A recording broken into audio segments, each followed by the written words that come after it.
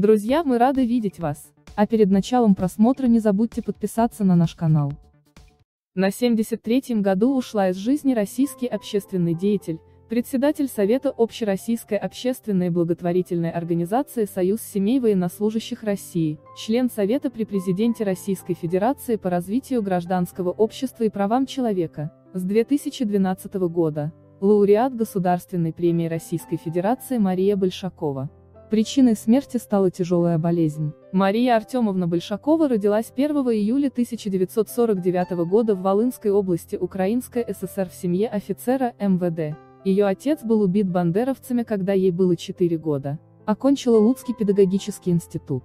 Работала пионер-вожатой, учителем, завучем, заместителем директора средней школы. Завучем по воспитательной работе и заместителем директора детского дома «Молодая гвардия» директором базы отдыха главмостроя и пионерского лагеря «Искорка» в Московской области.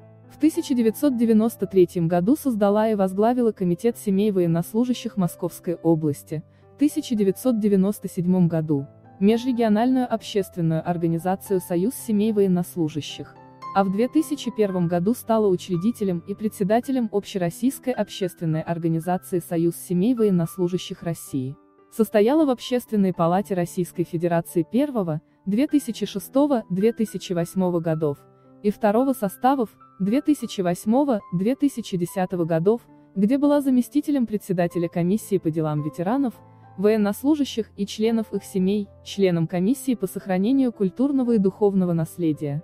Не забудьте подписаться на наш канал, чтобы не пропускать свежие выпуски.